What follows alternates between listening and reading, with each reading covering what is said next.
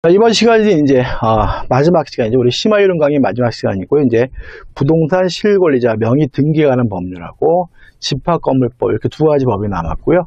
어, 마지막에 말씀드리면은 모든 강의는 세 번 이상 반복하셔야 됩니다. 그래서 기본 이론 강의를 가지고 기본이 좀 탄탄하게 쌓이셨다면 요 심화 이론 강의는 좀 양이 좀 많이 적죠. 그러니까 심화 이론 강의를 통해 가지고 확실하게 내 것으로 세 번 이상 반복하셔야 된다는 거 강조해 말씀을 드리고 자 이제 먼저 부동산 실권리자 명의 등기하는 법률을 정리해 보았고요. 교재는 637페이지입니다. 정리해보죠. 아, 부동산 실권리자 명의 등기 관한 법률은 뭘 금지하냐면 명의신탁을 원칙적으로 금지하고 있습니다.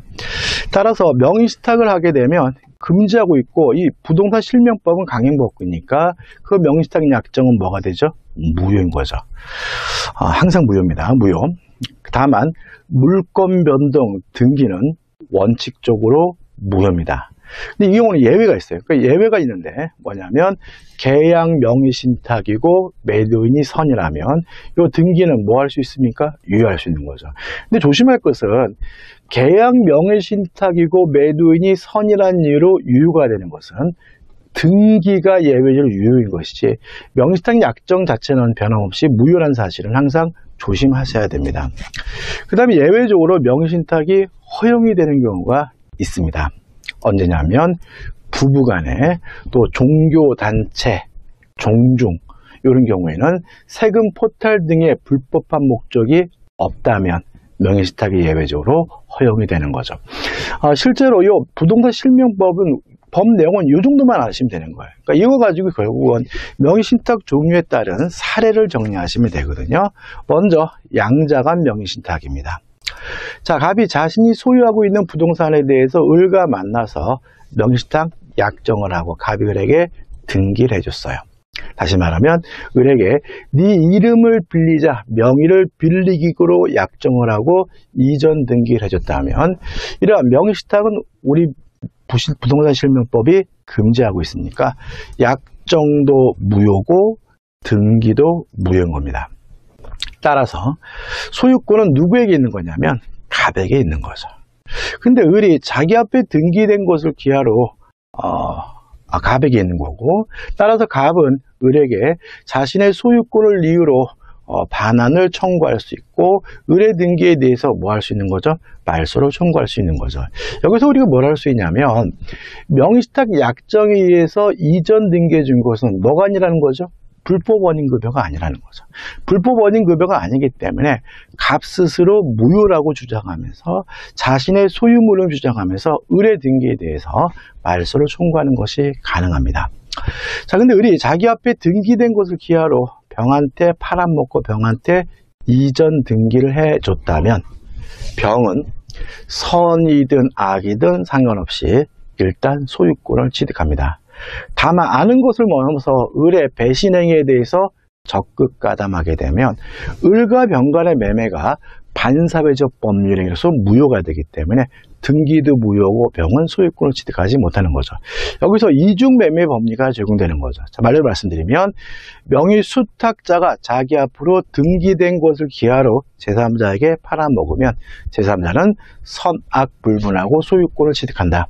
다만 이 제3자 병이 아는 것을 넘어서 적극 가담하게 되면 을과 병 간의 매매는 반사회적 법률에서 무효가 되기 때문에 병은 소유권을 취득할 수 없다는 것까지 정리하시면 양자간 명의신탁은 끝납니다. 그 다음에 두 번째로 이제 삼자간 명의신탁 또는 중간 생략형 명의신탁이라고 하는 거거든요. 이런 겁니다. 자, 갑이 병의 부동산을 사고 싶어요. 그래서 병의 부동산에 대해서 매매 계약을 했는데 자기 앞으로 등기해 놓기가 좀 깔끔, 껄끄러우니까 껄끄러우니까 음, 을과 만나서 명의신탁 약정을 했어요. 약정을 하고 매도인 병에서 명의수탁자 을로 직접 등기가 이루어졌다면 갑을 거치지 않고 넘어갔다 해서 중간 생략형 명의신탁이라고도 하고요. 아니면 세명이 가입, 개입됐다 그래서 3자간 명의신탁이라고도 합니다. 물론 약정도 무효고 등기도 무효입니다. 따라서 소유권은 누구에게 있냐면 병에게 있는 거죠. 지금 제가 소유권을 이렇게 빨간색으로 표시하고 있잖아요. 그래서 명의신탁 종류에 따라서 여러분들이 반드시 기억해야 될 것은 누가 소유자인지가 중요하거든요. 따라서 병은 자신의 소유권을 이유로 의뢰 등기에 대해서 말소 등기를 청구하는 것이 가능합니다. 근데 문제는 갑이 직접 을에게 이전 등기나 말소 등기해달라고 뭐 할 수는 없어요? 청구할 수는 없는 거죠. 왜냐하면 갑과 을 간의 관계는 뭐죠? 무용거니까요. 근데 여기서 유효한 것이 있는데 갑과 병 간의 매매는 유효하죠. 이게 중요합니다. 이 매매 계약 자체는 유효하니까 갑은 병에게 이전 등기해달라 요구할 수 있는 뭐가 있는 거죠? 채권이 있는 거죠. 따라서 갑은 병을 대의해서 의뢰 등기에 대해서 말소해 달라고 청구할 수 있습니다. 직접 말소해 달라고 이전 등기해 달라고 뭐 할 수는 없어요? 청구할 수는 없지만요. 그 다음에 마지막으로 을이 자기 앞에 등기된 것을 기하로 정가 만나서 매매 계약을 하고 등기를 하면 이것도 정도 선 악 불문하고 소유권을 취득하게 되는데 아는 것을 넘어서 적극 가담하게 되면 을과 정관의 매매가 반사회적 법률에서 무효가 되기 때문에 소유권을 취득하지 못한다는 것까지 정리하시면 되겠죠.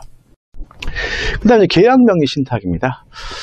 자, 아, 갑이 지금 을과 만나서 뭘 했냐면 명의신탁 약정을 했어요. 왜냐하면 어, 병의 부동산을 사고 싶거든요. 근데 약정을 하면서 네가 직접 병과 만나서 매매 계약하라고 위임을 해서 을이 병과 만나서 매매 계약을 하고 병의 세월로 등기가 이루어졌다면 이 명의신탁자인 을이 계약까지 직접 한다 그래서 계약 명의신탁이라고 하고요. 물론 명의신탁 약정은 어, 병이 선인 경우입니다. 선인 경우인데 이 등기는 뭐 할 수 있죠? 유효할 수 있죠. 그래서 계약 명의 신탁이고 매도인이 선이라면 등기가 유효하기 때문에 을이 확정적으로 뭘 갖게 돼요? 소유권을 취득하게 되는 거죠. 조심할 것은 계약 명의 신탁이고 매도인이 선이라는 이유로 등기가 유효한 것은 아, 유효한 것은 등기인 것이지 명의신탁 약정은 변함없이 무효라는 거 항상 조심하셔야 되고요. 따라서 어, 갑은 을에게 소유권 자체를 넘겨달라고 요구할 수는 없습니다. 왜냐하면 등기가 유효해서 을이 확정적으로 뭘 갖게 됐어요? 소유권을 갖게 됐기 때문에 다만 갑이 을에게 대금에 대한 부당이득 반환은 청구할 수가 있습니다. 다시 말하면 갑이 을에게 돈을 줘서 을이 병가 매매 계약을 한 것이니까 내가 준 돈 내다라는 의미에서 대금에 대한 부당이득 반환은 청구할 수가 있지만 을이 확정적으로 소유권을 취득했기 때문에 의뢰 등기에 대해서 이전 등기해달라고 갑은 청구할 수 없다는 거 주의하시기 바랍니다. 자, 그 다음에 이제 어, 경매에 있어서 계약 명의 신탁인데 이거 하나 좀 추가로 좀 기억할 게 있어요. 자, 뭐냐면 자, 갑이 을과 만나서 명시탁 약정을 했어요. 어, 근데 병이 어, 병의 재산이 어, 병이 어, 병의 경매인 거죠. 그러니까 다시 말하면 명의 수탁자인 을이 병과 만나서 매매 계약을 한 것이 아니라 경매 참여해서 경락을 받은 거예요. 그리고 병의 세월로 이전 등기가 된 경우입니다. 여기서 조심할 것은 경매는 채무자 매도인이 선인지 악인지 굳이 따질 필요가 없는 거예요. 경매 주체는 매도인인 채무자가 아니라 뭐예요? 법원인 거잖아요. 따라서 우리 판례에 따른 다음에 이때는 매도인이 약정은 변함없이 무효인데 매도인이 선이든 악이든 따지지 않고 등기 자체는 뭐하다는 거죠? 유효하다는 것이 우리 판례입장입니다. 다시 말하면 계약 명의 신탁이 경매에 대해서 이루어졌다면 채무자 매도인이 선이든 악이든 따지지 않고 을은 확정적으로 뭘 갖게 돼요? 소유권을 취득하게 되는 거죠. 따라서 선악불문하고 갑은 을에게 소유권을 이전해 달라고 청구할 수는 없고요. 물론 대금에 대한 부당이득 반환은 물론 청구할 수가 있습니다. 그 다음에 유효한 명의신탁입니다.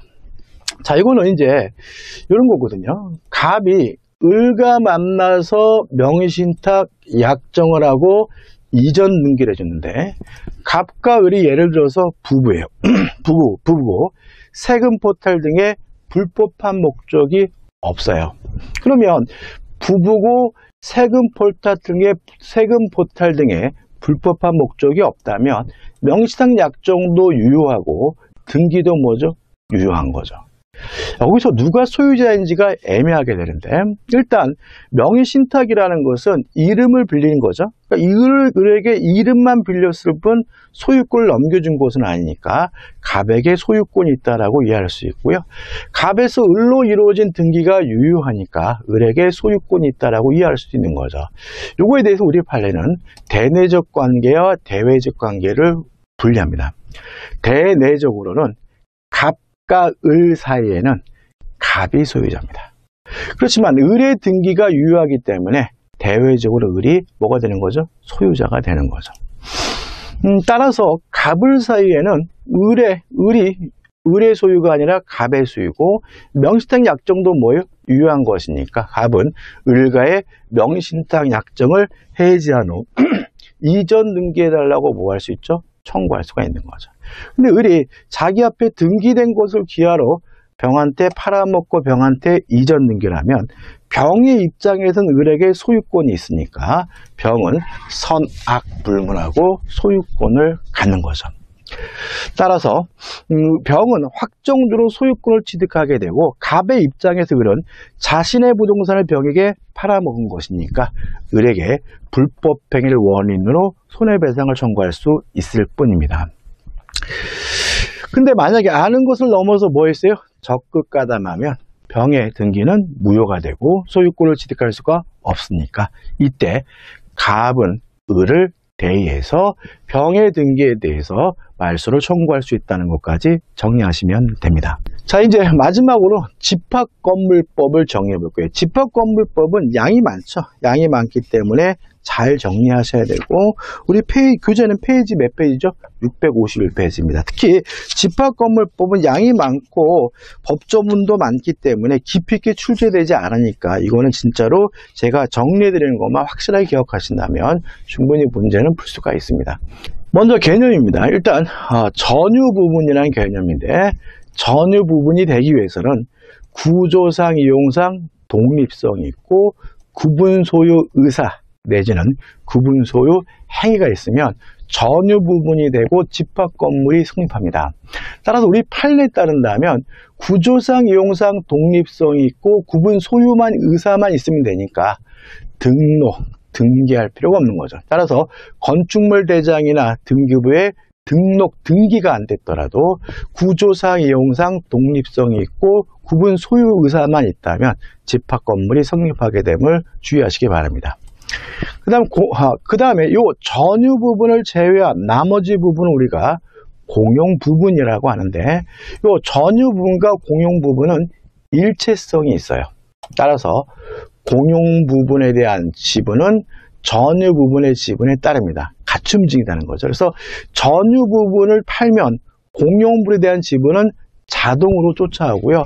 공용 부분에 대한 지분에 대해서 별도로 등기할 필요도 없습니다. 자동으로 쫓아오게 되는 거죠. 공용 부분에 관한 특실 변경은 등기를 요하지 않은 거죠. 따라서 이 일체성은 절대적인 것이니까 이 공용 부분만 따로 분리해서 뭐 할 수 없어요? 처분할 수 없고 절대적인 것이니까 구분 소유자 전원의 동의가 있더라도 공용 부분을 분리해서 처분할 수 없다는 점은 주의하시기 바랍니다. 그다음 공용 부분에 대해서 어, 기억할 것이죠. 첫째, 공유자의 지분은 어떻게 결정되느냐? 전유 부분의 면적의 비율에 따라서 결정된다. 그 다음에 공용 부분은 어떻게 사용하느냐? 용도에 따라 사용합니다. 필요에 따라 사용하는 것도 아니고 용도에 따라 사용하게 되고요. 또 공유자가 공용 부분에 관한 다른 공유자에 대해 가지는 채권인데 이것 대표적인 것이 뭐냐면 관리비입니다. 연체 관리비거든요. 그러니까 연체 관리비에 대해서는 일단 공용 부분에 대한 연체 관리비는 승계가 되지만 전유분의 연체 관리비는 승계되지 않는다.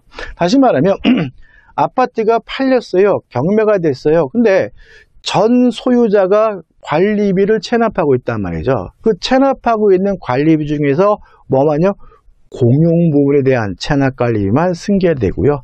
전유 부분에 대한 체납 관리비는 승계되지 않는다. 그 다음에 공용 부분에 대한 체납 관리비 중에서 원금만 승계가 되고 연체료는 승계되지 않는다는 거 꼭 기억해 두시기 바랍니다. 그 다음에 이제 아, 공용분의 변경이죠. 최근에 개정된 부분인데 원칙적으로 3분의 2입니다. 공용 부분을 변경하려면 3분의 2 이상의 찬성이 필요한데 음, 계량행위로서 과다한 비용이 들지 않는다면 그때는 통상의 집회결이 가반수의 찬성으로 공용 부분을 변경할 수가 있고요. 추가로 기억할 것은 뭐냐면 이러한 공용 부분의 변경으로 구분 소유권 및 대지 사용권의 범위나 내용의 변동을 일으키는 공용 부분의 변경이라면 그때는 5분의 4 이상의 찬성이 필요합니다. 이 공용 부분의 변경에 대해서 출제 가능성이 대단히 높은 부분이니까 꼭 기억해 두세요. 원칙 3분의 2 계량행위로서 과다한 비용이 들지 않으면 통상의 집회결이 변경으로 구분 소유권의 범, 구분 소유권 및 대지 사용권의 범위나 내용의 변동을 일으키면 5분의 4. 꼭 확실하게 기억해 두셔야 됩니다. 자, 그 다음에, 음, 대지 사용권이죠. 일단, 구분 소유권과 대지 사용권도 일체성이 있습니다. 음, 따라서, 따라서 대지 사용권은 그가 가지는 전유 부분의 처분에 따릅니다. 따라서 전유 부분이 양도가 되면 대지 사용권도 자동으로 쫓아오고요. 대지 사용권에 관한 별도의 이전 등기할 필요가 없는 거죠. 다만 만약에 규약에 전유 부분과 분리하여 대지 사용권을 처분할 수 없다는 특별한 내용을 두고 있다면 아, 내용을 처분을 금지할 수가 없으니까 규약으로 달리 정원 처분은 가능하죠. 아, 이게 무슨 말이냐면, 그러니까 우리가 어, 규약으로 분리 처분이 가능하고요. 특히 기억할 것은 뭐냐면, 만약에 이런 분리 처분 금지를 규약에 규정하고 있다면 이것을 가지고 선의 제3자에게 대항하기 위해서 뭐가 필요? 등기가 필요하죠. 약간 좀 모순된 부분이 있어요. 제가 좀 버벅거렸는데. 자, 어, 전유 부분과 대지 사용권은 일체성이 있으므로 전유 부분이 이전되면 대지 사용권도 자동으로 쫓아온다. 음, 따라서 대지 사용권 분리 처분할 수가 없는데 규약으로 분리 처분을 가능하게 할 수는 있어요. 근데 만약에 특별히 규약에 분리 처분을 금지한다는 내용의 규약을 가지고 선의 제3자에게 대항하기 위해서는 그 내용이 뭐가 되죠? 등기돼야 된다는 거 꼭 기억해 두시기 바랍니다. 그 다음에 집합 건물에 대한 담보 책임인데 이 부분도 최근에 개정된 부분이기 때문에 좀 복잡한데 지금 제가 설명드리는 내용만 정확하게 내 것으로 만들면 돼요. 일단 이 법 과 민법에 규정된 것보다 매수인에게 불리한 특약은 무효다. 원래 민법에 규정하고 있는 담보책에 관한 규정은 이미 규정이기 때문에 특약으로 달리 정할 수 있는데 집합 건물의 담보 책임은 강행 규정이다. 매수인에게 불리하면 뭐죠? 무효인 거죠. 그다음 이 담보책 원칙주로 누가 부담하냐면 분양자가 부담합니다. 근데 분양자가 부담하는데 예외적으로 시공자가 부담할 수도 있어요. 어떻게 하냐면 분양자가 망하면 시공자가 부담한다. 그래서 담보책이 원칙적으로 분양자가 부담하지만 분양자가 망하면 누가요? 시공자가 부담한다. 이렇게 정리하시면 되고요. 그 다음에 아, 기산점입니다. 아, 담보 책임에 관한 제척기한의 기산점인데 이것도 시험에 가끔 나왔죠. 전유 부분은 언제부터 시작하게 되냐면 인도한 날로부터 시작하게 되고요. 공용 부분은 사용 검사일 또는 사용 승인일부터 시작하게 된다는 거 꼭 기억해 두시기 바라고 존속 기간은 두 가지가 있습니다. 건물의 주요 구조 및 지방 공사의 하자는 10년이고 기타 하자는 5년 범위 내에서 대통령을 정하거든요. 근데 기타 하자 5년은 나온 적이 없으니까 그냥 우리는 원칙적으로 10년이다. 원칙적으로 10년이다. 이렇게 기억하시면 하다는 거 말씀드립니다. 자, 그 다음에 이제 관리단입니다. 아, 관리단은 뭐냐면 구분 소유자의 전원을 구성원으로 당연 선입한다. 따라서 관리단의 구성원은 구분 소유자고요. 구분 소유 관계가 구분 소유자가 두 명 이상이면 자동으로 설립하게 당연으로 자동으로 성립하는 소유자의 모임을 우리가 관리단이라고 하는 거죠. 관리인입니다. 자, 관리는 누구냐면 관리단의 대표예요. 그러니까 구분 소유자의 대표를 관리인이다 이렇게 기억하면 되는데 어, 이 관리는 어, 구분 소유자가 10명 이상인 경우에 선임하게 되고요. 그 다음에 구분 소유자일 필요가 없고 임기는 2년 범위 내에서 규약으로 정합니다. 근데 관리인의 개념이 구분 소유자의 대표인데 관리는 구분 소유자일 필요가 없으니까 이게 모순된 것처럼 느끼니까 시험에 잘 나오니까 꼭 기억해 두셔야 되겠죠. 그다음 관리위원회입니다. 아, 관리위원회는 규약에 정하는 바에 따라 관리위원회를 둘 수 있다죠. 그러니까 관리위원회는 필수가 아니라 임의기간, 부여하는 것이 아니라 둘 수 있는 기간을 말하고 뭐라는 모임이냐면 관리인의 사무 집행을 감독하는 모임인 거죠. 아, 근데 이 관리위원회 위원은 어떻게 선정하냐면 구분 소유자 중에서 집회 교류를 선출하는 것. 따라서 관리위원회 위원은 뭐 해야 되는 거죠? 구분 소유자이어야 한다는 거 주의하시기 바랍니다. 그 다음에 규약입니다. 하나만 기억하시면 돼요. 규약의 설정, 변경, 폐지는 4분의 3 이상의 찬성이다. 요것만 기억하시면 돼요. 그 다음에 관리단 집회는 언제 소집 통지는 집회일 일주일 전에 목적사항을 명시하여 통지해야 돼요. 이게 소집 절차인 거죠. 근데 만약에 이러한 소집 절차를 생략하려면 구분 소유자 전원의 동의가 있어야 되고요. 주의하실 것은 이 명시, 목적사항을 명시하잖아요. 통지한 사항에 대해서만 결의할 수 있으면 만약에 소집 통지에 명시하지 않은 사항에 대해서 어, 결의했다면 그 결의는 뭐가 되죠? 무효가 된다는 것까지 꼭 기억해 두시기 바랍니다. 그 다음에 수선 적립금이죠. 이게 뭐 특별히 중요한지에 대해서는 조금 의문이긴 하지만 최근에 개정된 부분이니까 좀 기억해 주니까 간단한 건데 모르면 틀릴 수가 있거든요. 자, 일단 관리단은 관리단 집회 결의에 따라 수선 계획을 수립할 수가 있습니다. 그 다음 2번 관리단은 관리단 집회 결의에 따라 수선 적립금을 징수 적립할 수가 있습니다. 여기서 질문이 나온다면 주체를 바꿀 가능성이 있죠. 그래서 수선 적립금을 징수하고 적립하는 주체는 뭐 관리위원회도 아니고 관리단이라는 거, 관리인도 아니고 누가요? 관리 단이, 관리단이, 관리단이 수선 적립금을 징수 적립합니다. 그래서 관리인이 이러면, 관리인은 이러면 뭐가 돼요? X가 됨을 주의하시기 바랍니다.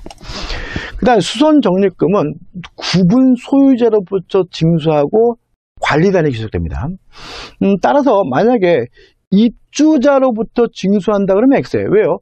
입주자 중에서 구분 소유자가 아닌 사람, 세입자도 있으니까요. 그 다음에 징수한 수선 적립금은 누구에게?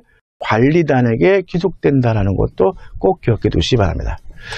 그 다음 관리인의 선의신고도 최근에 개정된 사항인데 전유 부분이 50개 이상인 건물의 관리인으로 선임된 자는 선임된 사실을 소관청에 신고합니다. 그럼 이렇게 되는 거죠. 자, 관리인은 구분 소유자가 10명 이상이면 소집해야 됩니다. 또 전유 부분이 50개 이상이면 선임 사실을 뭘 해야 돼요? 신고해야 됩니다. 이것도 구분 소유자가 50이 아니라 전유 부분이 50개 이상이면 신고 의무가 발생한다는 거 구별해서 꼭 기억해 두시기 바랍니다. 구별해서 기억해 두시기 바라고 그 다음에 이제 임시관리인이죠. 이것도 없던 제도인데 자 임시관리인은 언제 선임하냐면 관리인이 없는 경우입니다. 자 관리인이 없는 경우에 선임하는 사람이 누구죠? 임시관리인. 읽어볼까요? 구분 소유자 등 이해 관계인은 선임된 관리인이 없는 경우는 법원에 임시관리인의 선임을 청구할 수 있습니다. 언제 선임한다고요? 선임된 관리인이 없는 경우입니다. 이거 하나 기억하시고. 그다음 법원은 뭐 하냐면, 어, 임시 관리인은 뭐 하냐면, 선임된 날로부터 6개월 이내에 관리인 선임을 위하여 관리단 집회 또는 관리위원회를 소집하여야 합니다. 다시 말하면 임시 관리인은 뭐 하는 사람이에요? 관리인을 선임하는 사람에 불과한 거죠. 자, 회계감사 부분도 과거에는 없었던 부분이 추가된 거니까 좀 기억해 두시고 전유 부분이 몇 개요? 150개 이상인 건물의 관리는 감사인의 회계감사를 매년 1회 이상 받아야 됩니다. 그러니까 감사인의 회계감사를 매년 1회 이상 받아야 되는 것은 전유분이 몇 개입니까? 150개 이상의 경우죠. 다만 관리단 집회에서 3분의 2 이상으로 회가 감사를 받지 아니하기로 결의한 연도에는 받을 필요가 없습니다. 따라서 회계 감사를 안 받으려면 관리단 집회에서 몇 분의 몇 이상의 찬성이 필요한 거죠? 3분의 2 이상의 찬성이 필요합니다. 자, 이제 드디어 이제 마지막이죠. 재건축입니다. 간단히 정리합니다. 자, 재건축에 대해서 의결권은 5분의 2 이상, 5분의 4 이상의 찬성입니다. 5분의 4 의미에 우리 판례는 전체 주민의 5분의 4가 아니라 각 동별, 각 건물별 5분의 4 이상의 결의가 필요하다는 것이 우리 판례 입장이고 그럼 반대자는 어떻게 처리하느냐 참가 여부를 서면으로 다시 한번 체고합니다. 자 서면으로 합니다. 체고를 했고 2개월 이내에 회답이 없으면 참여를 거부한 것으로 확정이 되고요. 그 다음에 그리고 나서 구분 소유권 및 대지 사용권을 시가입니다. 객관적 가치가 아니라 시가에 따라 매도할 것을 청구하고 시가를 매해서 재건축을 시작하면 되는 거죠. 복구입니다. 자, 멸실된 부분의 가액이 2분의 1 이하예요. 그러면 통상의 지폐 결의로 복구하면 되는 거죠. 근데 만약에 2분의 1을 초과하는 경우에는 5분의 4 이상의 찬성이 필요하다는 것까지 정리하시면 됩니다. 자 이렇게 해서 이제 심화 이론 강의를 다 마쳤고요. 제가 시작하면서 말씀드렸다시피 음, 반복해야 된다는 거 강조해 말씀드리고 그동안 수고 많으셨고요. 여러분들 제 강의 들어주셔서 여러분께 모두 감사의 말씀드립니다. 여러분들 고맙습니다.